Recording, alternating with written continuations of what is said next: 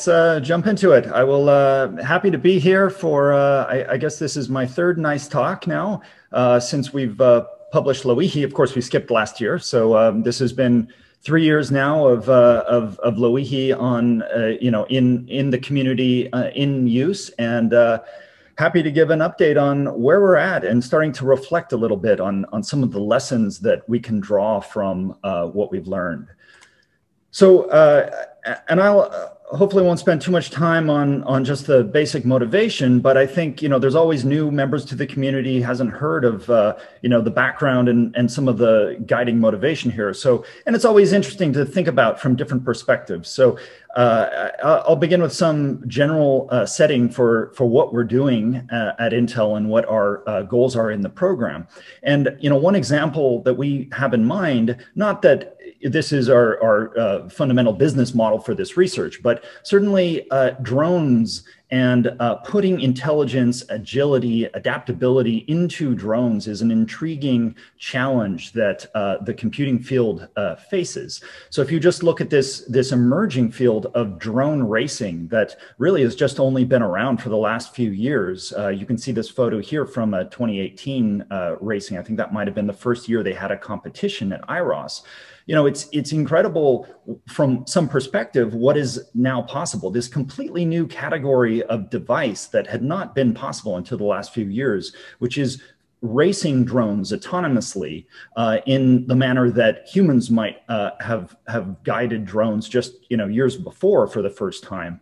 Uh, but now completely under technology control these drones are able to detect uh, gates and fly between them uh, at, at a pretty reasonable speed and and that's you know been enabled through progress in uh, technology. So process chip design technology. So the the gains of you know a million x since the early uh, dawn of, of the von neumann computing model um, and with that moore's law has given us uh, shrinking that intelligence that capability putting ever larger scales into tinier and tinier form factors to the point that now such things as drones, autonomous drones are possible. And of course, deep learning has been the other ingredient, what we've just been talking about in the intro here, of the, this ability to recognize in this incredibly high dimensional cluttered space, uh, identifying you know what the objective is here, where these gates are, and then uh, being able to guide the the drone uh, to, you know through them through on a particular uh, defined course. So so this is pretty impressive what is now possible. And of course, this field is, is advancing quickly and they're moving, you know, from walking speed to jogging speed, perhaps flying between these portals. Um, but if we step back and we look at brains, we don't even have to think about human brains. Uh, you know, we've been talking a lot about human brains in the, in the intro here, but just consider the simplest or some of the simpler brains that we see uh, that we might uh, seek to uh, emulate in their capability. Um, look at the cockatiel parrot and compare what is possible in birds. You know, we kind of pejoratively will speak of bird brains, but in, in, in this case, if you look at side by side what a cockatiel parrot is able to do compared to our best autonomous drones today, there's still a dramatic difference uh, in the capabilities and the, the basic raw metrics of the efficiency and the speed of the responses. So a bird brain, a cockatiel parrot, is operating at, you know, almost 500 times lower power level than the compute of CPUs and GPUs on that, uh, that uh, autonomous drone. It's a fraction of the weight. It's navigating at up to 35 kilometers per hour and more than the speed that it's operating in and the, the its, its response times to uh, obstacles and, and you know the unforeseen that that comes in its path um, is the, the, the versatility and the adaptation of the bird. So the bird has not been pre-trained to recognize just this one object of gates. A bird, through its course of its lifetime and through the course of just relatively few presentations of a new environment or or uh, you know new types of food or uh, its peers, potential mates, anything uh, along these lines, it will learn in very few instances and adapt its behavior and uh, you know accordingly. So a bird is able able to forage for food, uh, even speak certain uh, human language words, learning those. Of course, that's not something a, a bird was evolutionarily programmed to do. There's even reports uh, of, of being able to manipulate cups, uh, another object that did not exist in its evolutionary past, and, and really understand what a cup can be useful for in terms of drinking. Um, and so these, of course, go way beyond what, what our autonomous drones can do today. Um, the drones are, you know, with, with a great amount of pre-labeled data, pre-collected, uh, it, it, they can be trained to recognize and perform this one very particular task, but it is far from, from encompassing the wide range of capabilities that, that uh, you find uh, birds implementing today. So even if we just take that that one example, we have a, a long way uh, to go, and and and and we believe a lot to learn from uh, from nature and even the simplest brains, and even insects maybe. So now you know this. Uh, perspective here is what we, we touched on in the intro, and, and this is uh, what is what is quickly uh, racing to the forefront of everyone's mind in, in mainstream computing, and that deep learning, as uh, powerful as it is, is incredibly power hungry. And, and what's more than just the raw power and the, the size of these models is stressing our, our compute capabilities conventionally today, uh, is the pace of increase that we see here. So over a span of, uh, of six years or so, the model model sizes and the amount of compute required to train these models uh, grew by a factor of 300,000. And that's even a somewhat old number. That's, that's even faster pace in the last few years we've seen. Uh, so that's, that's a, a tremendous increase, increase in compute demands compared to, say, the 8x that would be provided by Moore's Law over that same period of time.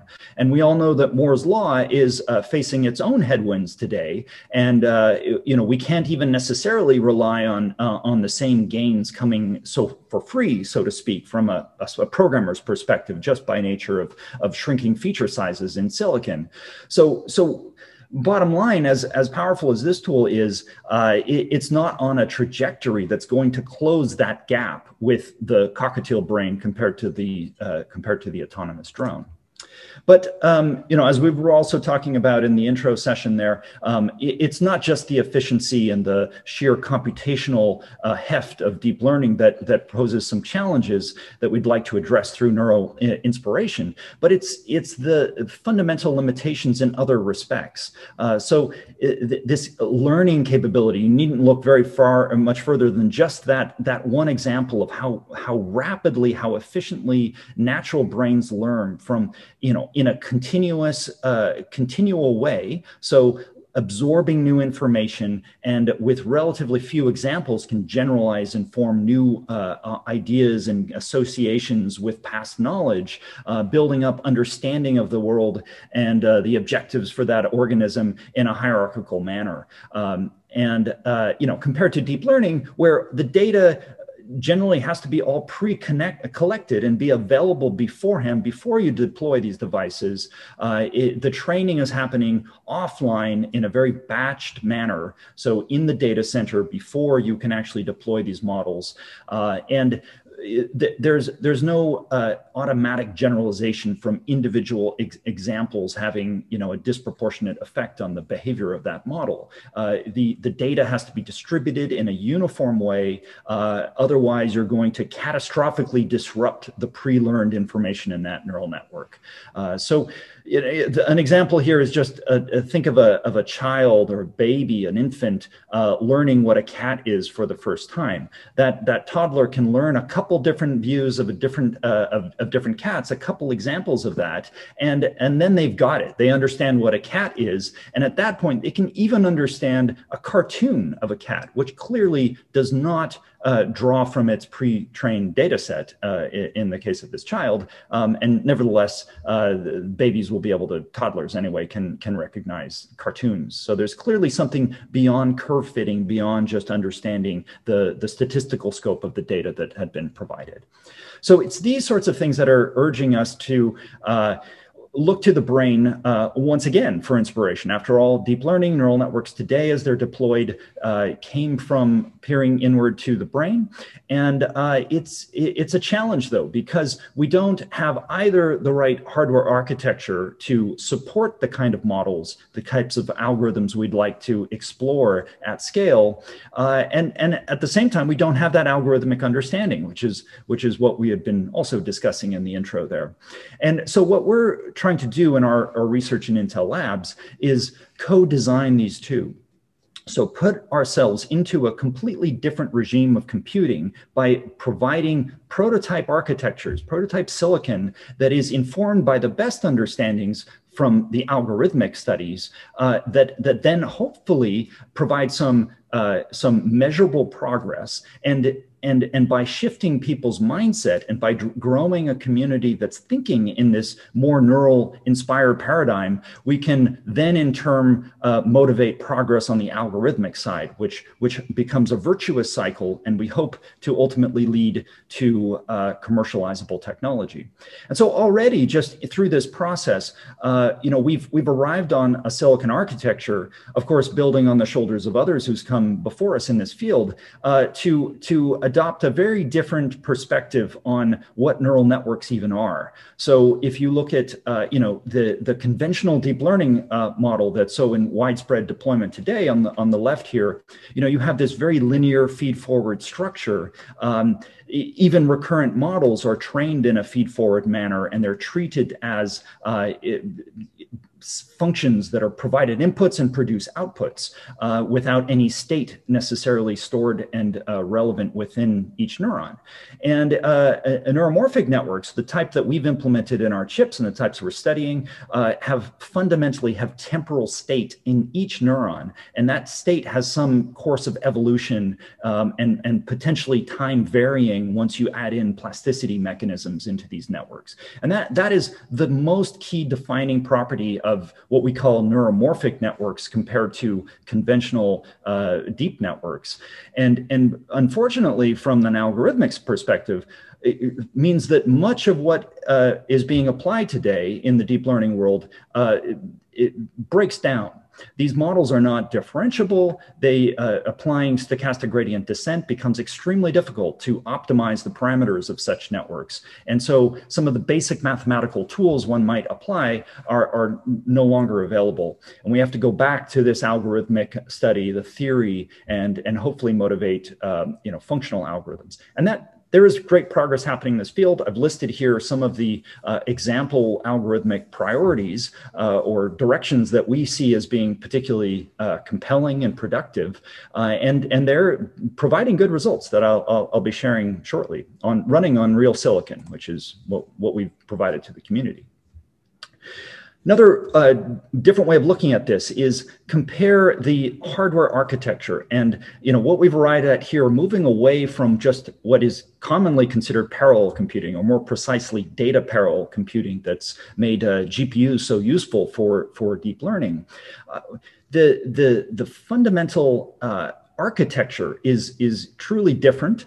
Uh, in this case, what we've implemented with neuromorphic models, meaning there isn't this, this, uh, this architectural divide between the computing elements and the memory elements. And that split, that top level split in the architecture has a fundamental rippling implication into the types of functions and the way you think about uh, computing and also what is efficient versus not efficient to implement on, on, on different architectures. In a neuromorphic architecture shown, shown below, there isn't that separate memory. The memory elements, as I say, uh, similar to the biological neural uh, neurons, the state is embedded in the neurons and embedded in the synaptic connections, which are physically distributed in the, uh, the, the chip itself uh, and, and not being stored outside band, which then has to be fetched and cycled through the uh, computing elements of this architecture. So when you're, when you're in that traditional architecture needing to fetch all your state from a separate memory, perhaps through multiple hierarchies of caches and other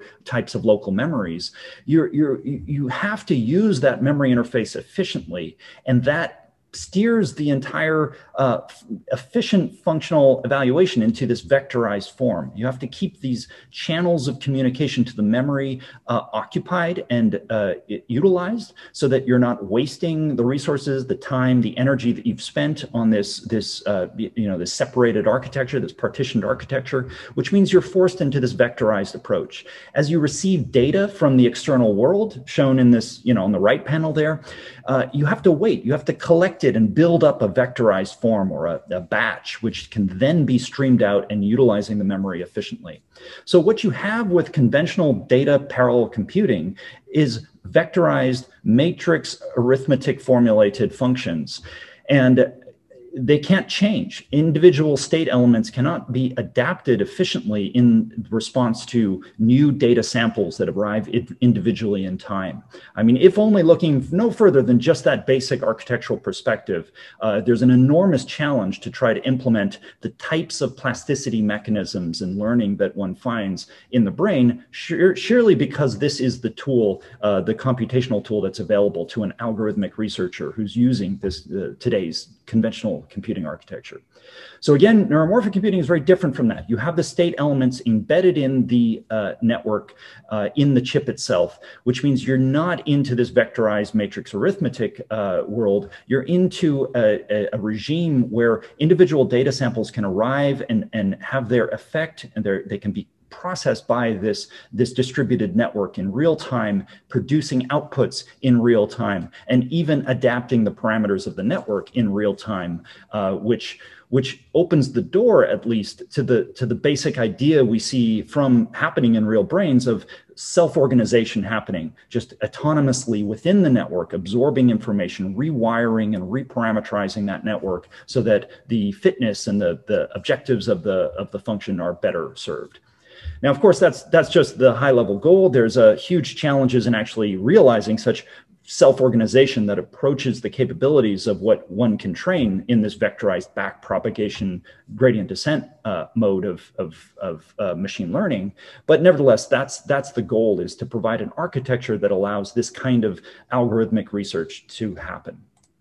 So at Intel, um, as, as probably you all know, we've um, we've published uh, our Loihi chip. This is now you know three years ago. It was three years ago, uh, nice, where we uh, unveiled the chip in for the first uh, sort of public talk. We had already published it, but but this was uh, in, in many ways the public unveiling. We hosted our first workshop uh, actually at Intel in Oregon, Hillsboro, and so great memories of of the nice that year and and sharing it for the first time with this you know very eager community. Um, and uh, I, I, I, won't you know go through all of these properties because I think they're they're you know quite well understood by this this community by now, and and they're you know move they're they're leveraging much of what I've just spoken about in terms of the principles we're, we're looking to. Um, I think one thing I'll, I'll call out is that you know, we don't have floating point numbers. We don't have multiply accumulators. We don't have the off-chip DRAM elements. These fundamental elements that are uh, seen as, as essential in, in uh, conventional processors, conventional GPUs, and deep learning accelerators today. So what capabilities we're able to demonstrate with Loihi are clearly being enabled in a completely different perspective, a different view of, uh, of how to compute um, compared to CPUs and GPUs the, the legacy of seven decades of von Neumann architectural development, basically. What we've done with Loihi by now is um, is deploy these, and uh, unfortunately, we missed um, you know last year's NICE, which we we would have highlighted our, our latest Pohoiki Spring system, which is this uh, large five rack unit uh, chassis that you see on the right here. Um, so we we uh, uh, built that last year and uh, we uh, deployed that and uh, commissioned it for use by the INRC. Um, we've even delivered one of these to our, our close partner Sandia National Labs, and they're um, fast working with this as well, scaling up models to to to the large scale. Um, relatively little use of this, I have to say, in this intervening year, and that's maybe maybe somewhat of a disappointing uh, disappointment to us. Uh, but it, it really does highlight the, the fact that we need to start with the basics and uh, really figure out how to um, extract capability, demonstrate an algorithmic understanding, which is scalable up to such a high level. But again, it's the, the economic value of neuromorphic in the near term comes from the edge side of things. Uh, this Pohoiki Spring system has 768 chips in it. Uh, it implements 100 million neurons. Um, and if we were to sell such a system, I'm not going to you know, speculate on a price, but it, it wouldn't be a cheap system. So it's going to really have to solve some seriously hard problems uh, to, to justify commercializing such technology. The, the edge is likely where we're going to see uh, the earliest uh, uh, commercialization. That said, there's some intriguing results as we scale our models up to the high uh, high end um, in, in terms of what we've deployed. We, we've de um, demonstrated a nearest neighbor search uh, example on, on this uh, full-scale system. And, uh, and, and many of the algorithms we're looking at, as I'll show you, uh, show intriguing gains in efficiency and speed compared to conventional solutions as you scale up these, these networks. So, so the, the, the high end has great promise in the neuromorphic world and in this kind of embedded compute and memory architecture. But uh, I think the economic viability is not quite there yet. Of course, we've also built edge devices. You can see in the top right here, uh, we have our Kapoho Bay system, which connects directly to uh, event-based cameras, so the Davis 240C, uh, as well as other sensors, uh, allowing uh, robotics and other real-world you know, visual sensing and learning uh, algorithms to be prototyped. Okay, so we're uh, certainly uh, not trying to, you know, boil the ocean and solve all the problems ourselves at, at Intel. Uh, you know, at, at, the same time, three years ago at NICE, we launched the Intel Neuromorphic Research Community, uh, and that's grown rapidly over these years. Um, we've we're now up to over 120 groups around the world, um, spanning many, many academic uh, groups, uh, as well as government labs, and an increasing number of corporate members, uh, which we're quite excited about because it, it, means that the progress that the community is making is attracting uh, mainstream business interest, seeing that potentially there are problems that they have that are uh, you know commercially relevant that uh, neuromorphic technology may be ready to solve and motivate putting the technology uh, you know into the world in commercialized form. So let's, uh, with that, let's move on to discuss uh, um, some of the Loihi results we've had. Uh, so there's a there's a long list by now, um, and I'll just go through some of the highlights. Um, you know, sort of broken down by the sort of major domain of study. Uh, so in the sensing domain, we're seeing uh, some you know, very uh, intriguing, compelling results, um, especially when the data formats of, uh, are, are, rethought out and, and taken all the way down to this fundamental spiking event-based uh, paradigm. So one of the challenges certainly that we see with Loihi is, is that I.O. can be a bottleneck with conventional data formats because conventional data are formulated in conventional ways in this vectorized manner uh, with very dense data formatting. And that's not compatible with the event-based sparse spike-based uh, representations that we have in inside Loihi. But as you connect up things like these uh, event cameras, uh, we can uh, natively send these events from the sensor into the chip. And we've been able to demonstrate things like uh, gesture recognition uh, at uh, very low power levels, uh, 15 milliwatts of dynamic power, both for the camera and Loihi combined. Uh, and, and furthermore, moving from that, the work of uh, Emre Neftci, Kenneth Stewart, his student, um, incorporating some minimal level, you know, some, some preliminary uh, online learning capabilities using some of the um, kind of approximate backprop ideas to, to learn new gestures with just a few presentations at, um, at power levels not much higher than than these numbers here that I've stated. Um, also, by fusing data streams, we have examples where we can take these emerging event-based tactile sensors. So uh, Ben Tee and his group at National University of Singapore has, has demonstrated the fusion of tactile sensor, sensory input and visual event-based input and, and showing that they can categorize and classify objects more accurately than with either event stream uh, by itself. Um, and this is relevant for you know all manner of robotic uh, deployments. Um, this, this sense of touch is so desperately lacking. And this is allowing, for example, a cup that might have different levels of, uh, of, of liquid in it. If you can't see the liquid, vision is not very useful for understanding how much force should be applied to lift and, and hold on to an object. That sense of touch is, is essential. So the combination of touch and tactile um, will be incredibly useful for, uh, for robotic manipulators of, of real world objects in the future. And not only are we showing better classification accuracy by fusing using these event-based streams. Uh, the, the same processing algorithm, if you try to formulate that in, on, and run it on a GPU, we're 45 times lower power on Loihi, 20% faster than, than the GPU. There's been some great results in uh, keyword spotting of, of audio signals, so the wake on voice type of uh, um, function. And then uh, most intriguing uh, of all is uh, learning olfactory uh, signals, so odors that have been collected in the wild, chemical signatures. And this is an example of taking a direct neuroscience model, biophysical, low level model, and abstracting these features to the point that they can then run on Loihi. And what we find is not only can uh, such a network uh, classify odors with, with better accuracy than uh, conventional, whole manner of uh, conventional algorithms, including a deep learning algorithm. The learning capability, inspired again by biology, one-shot learning, uh, is, is with, with, a single presentation to Loihi, we can classify odors from this data set uh, as well as what it would take to train a deep learning model with 3,000 times more sample per class. So this is perhaps unique to the uh, chemical sensing modality. We, we haven't yet been able to you know, generalize this to other uh, domains, uh, but clearly there's something very important with associative learning happening here in a very compact, efficient network that's, uh, again, directly inspired from, uh, from biology. That, that works in Nature Machine Intelligence. You can go read about that. Um, then from the robotics and the uh, drone space, uh, we've seen a lot of activity. In fact, I would say this is probably the uh, plurality, at least of, of our INRC members are interested in this domain. I think many see this as the long-term um, uh, promising direction for neuromorphic, the killer domain, so to speak. Um, we've had uh, examples of adaptive robotic arms that are able to um, sort of learn the deviations that uh, real world effects like friction and unmodeled forces, uh, you know, how they disrupt the control of that arm, be able to rewire the control mechanism so that uh, it can re-achieve that reaching behavior that's desired.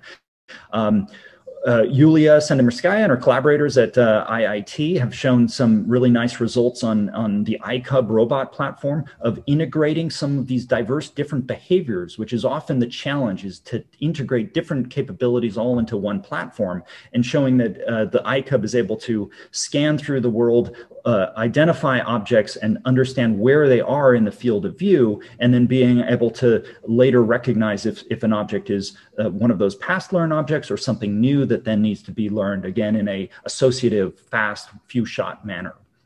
I've got some SLAM examples. So this head direction localization and learning. So uh, uh, Konstantinos Michmizos and uh, Yulia again uh, have demonstrated some examples of being able to use visual cues and, and learn that in a, a place field setting. So understanding where in the visual uh, uh, scene these, these visual landmarks are and using that then to orient and the, the head direction of these, these robotic agents.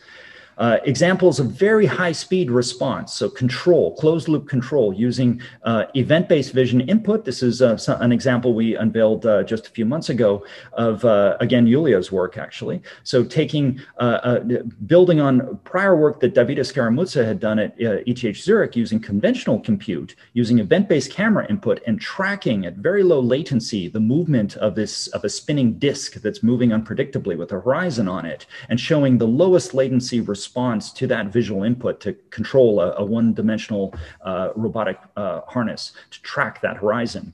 So that's been demonstrated at two milliseconds of, of closed-loop latency, including the I.O., and running at an event rate of 22 times faster than what the CPU on the same platform was able to support. Uh, pretty recently, there's also been a, a, a, drone that's been had Loihi on it and has been able to land safely multiple times using just 35 neurons that have been evolutionarily trained. So this is uh, uh, De Croon's lab at TU Delft. And, uh, and this is, of course, going in this kind of very much of bio-inspiration all the way to the point of training networks in the way that uh, biological neural networks, biological brains have been evolved, uh, and, uh, and, and seeking the, the absolute uh, most efficient, most uh, compact form of control that you might obtain, and maybe say in you might find in an insect brain or something like that. Um, so this could be critical for enabling extremely small scale mobile devices and, uh, and dealing with some of the resource constraints that we have on neuromorphic chips. Then finally, the, the biggest, uh, most compelling results, uh, arguably, that, that we find uh, with Loihi are actually on more abstract computational problems. Uh, and you know these have a lot of connection to the types of cognitive functions that are happening in the brain, though uh, certainly we have a step or two to go until we're really connecting it to, to real world data and, and, and learning and deploying some of these kind of planning, search, and um, you know, uh, optimization capabilities that we've demonstrated. Um, but nevertheless, the, we have uh, for example, graph search. So the most classic computer science algorithm, um, you know, Dijkstra, basically a wavefront search through the neuromorphic mesh is able to leverage the parallelism of the architecture and find shortest paths in, in arbitrary graphs up to 100 times faster than what a Xeon CPU can perform on those same graphs. And that's using time temporal propagating wavefronts and, and, and even plasticity to record what the shortest paths are in, in that network. So is a fundamental different way than what most would think you might use a neural network for. Um, we have um, that nearest neighbor search problem I mentioned uh, scaled up and implemented on our Pohoiki Spring system and showing you know faster and lower energy search than what an equivalent a state of the art or uh, equivalent implementation would take on a CPU. And if you achieve the same levels of speed and energy, or speed anyway, on a conventional implementation, uh, we're then orders of magnitude faster in being able to, to program new search patterns into the database. Uh, there's a there's a paper on that. You can learn more about it. Uh, recently, Sandia has shown some uh, some success in scaling up their heat diffusion modeling. So uh, you know, very much a physics oriented modeling problem, but using stochastic diffusion random walkers in a, a large scale neuromorphic system, it's able to model the diffusion of heat um, and a, a, particular PDE in this system, and uh, that that that's showing a lot of promise. So some of these uh, uh, you can learn more about in our tutorial that's happening tomorrow. So in particular, we're going to go into the combinatorial optimization problem, which I, I think is our re most recent result, uh, and we're very excited about this. Uh, this is a classically hard problem, so provably NP complete problem of uh, you know constraint satisfaction SAT solvers, and we're able to run and solve real world problems on on Loihi uh, that with uh, up to 40 times faster than a CPU, 2,000 times lower energy, and and recently we've now started working with a commercial entity, Deutsche Bahn, on on their train scheduling workload and showing that we can in fact take real world, uh, though still now on the smaller side of what they might uh, deploy commercially, but real world train scheduling problems and solve these 14 times faster than what their commercial solver that they pay money to go and, and, and uh, use for scheduling uh, their rail network. Um, so uh, using just a single Loihi chip. So this kind of gain is just not what you expect to find in conventional uh, computing. We're clearly getting some, we're onto something very intriguing and powerful here, uh, and and uh, and it's still early days in, in that. So, what's very exciting to me is now having a whole suite of computational quantified results that we can take all these data points and, and chart them out on a two-dimensional axis. Um, the energy gain that we get by running these workloads on Loihi and the solution time gain. And, uh, you know, this is expressed in terms of the conventional architecture's energy divided by Loihi's energy, the solution time on a conventional architecture divided by Loihi's solution time. So top right in this chart is better for Loihi. It's providing some gain in either the speed of processing or uh, and or the energy, typically both. Uh, and so you can see there's a lot of points that fall to the top right of this kind of the product parity line, which is uh, the conventional line where below which you would say the architecture is indisputably worse for this task than it uh, otherwise uh, might be. So we're finding against a variety of different uh, conventional uh, architectures, Loihi gives gains. What's really inter uh, interesting is how the data partitions out so cleanly. So feed forward deep networks are, are all providing the least compelling gains here. And in many cases, when you go to large conventionally formulated deep networks, the things like mobile nets and ResNets and others that you would be running conventionally on, on uh, GPUs, Loihi is not providing any gains at all. And there's you know good reason for that. um, the, the gains are really coming from recurrent neural networks. You know, all the neural networks that I'm aware of in the brain are recurrent. You find recurrence and feedback processes fundamentally in the brain. And that we, we can understand by looking at these examples how the efficiency and how the speed uh, is uh, emerges uh, from recurrent neural networks as opposed to uh, the feed forward type. Um, and, and furthermore, there's this intriguing scalability property that I mentioned, where in many cases, as we go to larger problem scales, we find that the gain that Loihi provides gets better compared to smaller networks. So this bodes really well over the long term of scaling up the architecture uh, to, to uh, you know, very large sizes and getting incredible gains, many orders of magnitudes. So now on the deep learning front, um, you know, if we zoom into those points that are, you know, not some, some of which aren't so compelling, um, we can break this down a little further. And we find that the least compelling of the deep learning category are, are traditional ANNs that have just been converted with rate coding, spikes that are rate coded to emulate the, the activity, the graded continuous activation value of an ANN. Um, these really, we don't see much promise in these, frankly, at all. Um, the, they, they can be low energy because of the sparsity and, and the increasing sparsity as you get through the depth of the, the layers of such networks. But the latency is terrible. So these are very slow compared to what you can compute conventionally. Uh, they don't scale well either. So as you go beyond a couple layers, the, the inaccuracies, the, the uh, errors that uh, get introduced inevitably from this low precision regime of, of uh, rate coding um, compound and, uh, and, and which means even the scalability of this class is, is quite questionable. So, so bottom line, converting ANNs into a, a rate coded spike implementation is not uh, a, very, a very compelling uh, uh, approach. What is a lot more compelling is to apply the back propagation technique to optimize the individual spike times in, in, a, in a spiking network. And here we find that you can achieve low latency and low, uh, low energy. And the, the most compelling points within this class of, of, of algorithms are all coming uh, from that uh, paradigm. Uh, the downside is that they're very hard to train. So spiking neural networks, as everyone knows, you know, they're not differentiable. They're very difficult to uh, train in the deep learning paradigm. Um, so it, while it's possible to do it, uh, it, it, the, the inaccuracies of the modeling compound as you go to large scale again for, you know, so for different reasons than for the converted class, as you scale up to large networks, this technique runs into serious challenges. Uh, so that just is to say that we can't take this black box approach to spiking neural networks. Um, you know, maybe we can in, in include, you know, clever features into the uh, networks that perhaps make them a little better for, for differentiable tuning, but but um, but ultimately, uh, these spiking neural networks, event-based neural networks of any kind, are are just inherently less trainable with gradient descent as uh, ANNs. That will be a fundamental challenge. Now, there's a, one example so far of, of implementing, at least that is fully quantified, of this kind of online backpropagation, of applying the backpropagation idea in uh, an approximated form into the chip. And that's uh, the, the adaptive robotic arm example I showed earlier.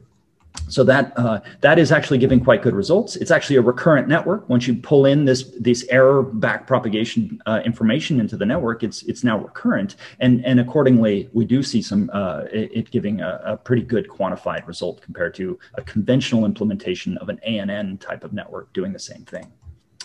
And you can learn more about the this uh, backprop based uh, examples using the Slayer tool. That we're going to cover that in our tutorial tomorrow as well. So ultimately, what we're seeing with Loihi is uh, is that order of magnitude gains are possible. So these are not the percentage gains that we've become accustomed to in you know conventional computing. Um, you know these are thousand x gains in en energy efficiency, uh, up to hundred x gain in speed. Both of these combined in the same implementation. So hundred thousand gains in energy delay uh, product. Um, you know, metrics like these are really, really hard to achieve. Um, uh, with anything short of, a, of an absolute hardening of a particular algorithm into an ASIC or a specialized chip. Loihi is a programmable chip. So it's really notable that we're able to get these kind of gains with a, a, a, programmable architecture. It's not programmable in the conventional sense, but we can span a huge range of different types of workloads and algorithms all implemented in one chip, um, uh, you know, outperforming conventional uh, architectures by a large margin. Um, now, th there is the significant challenge we face at a very fundamental level, and that's the higher cost per function that we have in uh, in the neuromorphic architecture.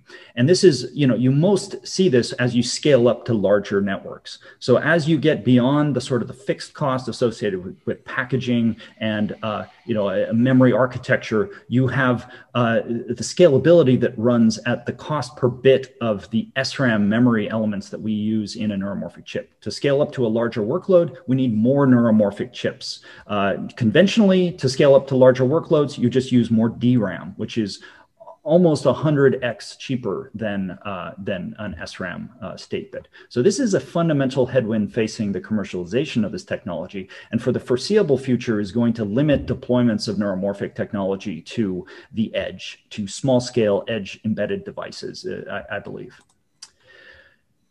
So if we zoom in into this recurrent category, um, we can break this down into, you know, we, we can see that basically the, uh, the efficiency and the capabilities that come from this class of highly successful networks on neuromorphic architectures um, arises from computing with collective dynamics. This is getting beyond that vectorized feed forward function that GPUs are so good at evaluating and now involves dynamic uh, uh, feedback loops on all scales and the network is self-organizing either through its you know static dynamics with with fixed parameters or as you add in plasticity mechanisms you allow uh, the network to evolve and and uh, it, itself the training process is a dynamic process. So backpropagation stochastic gradient descent is a collective dynamics uh, operation. So that's a dynamical system when you conventionally train a large deep neural network uh, you know the individual steps involved in training a network are not as important as optimizing the loss function, the dynamics that you've you know orchestrated the the training process to achieve um, and and that type of behavior of optimizing an objective through the dynamics of the system is what all of this category of recurrent neural networks running on low Loihi giving great results. They're all uh, uh, basically examples of that paradigm of computing. Now, not all of these uh, categories uh, are, are, are, leading to the same degree of progress. We, we do face significant progress in the gradient descent to deep neural networks. Um, and so this is, you know, leads us to kind of final perspectives here on on the learning in, in neuromorphic architectures. You know, we've invested a lot of, of effort to uh, support learning rules in Loihi. And reflecting now on what's been done in the category of learning networks, um, we see that gradient-based learning, and that's, that's the gradient descent, stochastic gradient descent, approximated backpropagation types of, of models mapped into a neuromorphic form, um, they, while the promise is clear, we should be able to scale to deep networks and then learn, you know, at scale this way. Um, the reality is a lot more challenging because uh, there's been no example shown to date of scaling beyond one or perhaps two layers in Loihi. Um, and, and fundamentally, uh, you know, not only is the, the hardware difficult and the algorithms difficult to get right in this case, but they will still have the same data efficiency of backpropagation itself, which means they're extremely data hungry, they're slow to learn. The data samples will need to be uniformly distributed over time, otherwise the parameters get catastrophically disrupted. So certainly these perhaps can be overcome through smarter formulations of the network and uh, scoping and modulating the pl plasticity processes in, in, in such networks. But bottom line is we still, it's not as, as, as easy as just approximating backpropagation and then we're done. Uh, the, certainly that can be good for fine tuning, kind of slow adaptive types of capabilities. So that one example I mentioned, which is the robotic arm adaptation example, that's basically the delta rule or a one layer form of uh, a backprop. Uh, that works really well. But scaling beyond that, we, we really uh, face some fundamental algorithmic challenges, not to mention the hardware uh, uh, challenge of not having sparse updates anymore. And then there's the non-gradient domain, which is really intriguing. This is, for example, that olfactory learning network that I mentioned, where there's a projection to a high dimensional space and there's associative learning happening in this projected high dimensional space. And that, that uh, clearly uh, can be very fast and efficient with data, but there's not much theory in that domain. Um, so I think that there's a big promise in, in that direction, more work to be done. And in particular, by fusing these two different approaches, we should be able to get uh, uh, you know, using each where they belong, uh, we, we, we should be able to get some really exciting uh, gains in the future. So speaking of the future, uh, closing here with our outlook to commercialization, you know, now as much as ever, we see a huge uh, uh, range of possible applications. And if, if, anything, you know, I think in the field, we're very fragmented and different researchers are all going and exploring in different directions. And, you know, what, what we really want to see first, more than anything else, is convergence in this kind of inner circle of tools and methods and uh, software platforms that that uh, and, and and architectures and features even on the silicon side that can align the community uh, to to focus on the nearest term paths to commercial viability. And so uh, here I've shown you know many of the uh, uh, domains that where we see promise. Um, kind of the the distance in the bar, the radial bars here are kind of showing what might be you know nearer versus versus further out commercial viability reliability. Um, certainly, processing audio is a, a, great example where we think we'll see this earlier rather than later. Um, we'll probably see commercialization of neuromorphic technology in a very quiet way initially, where it becomes IP blocks. It's hardware that's incorporated into a larger, say, Intel SoC uh, that you might not even be aware that it's it's there necessarily from a user perspective. It's not going to fundamentally change what the device is capable of doing. It's just going to provide more efficient uh, implementations of the necessary functions. And then over time, we'll be able to scale up. We'll solve the scalability problems, put the technology out into real world, eventually scaled up to you know very large scale. Uh, but uh, you know that that is coming. So that's, uh, I think the future is very bright for, for neuromorphic computing. And uh, yeah, thanks for your attention and uh, attend our, our tutorial tomorrow. You can hear a lot more on the details and, uh, and uh, happy to answer any questions now.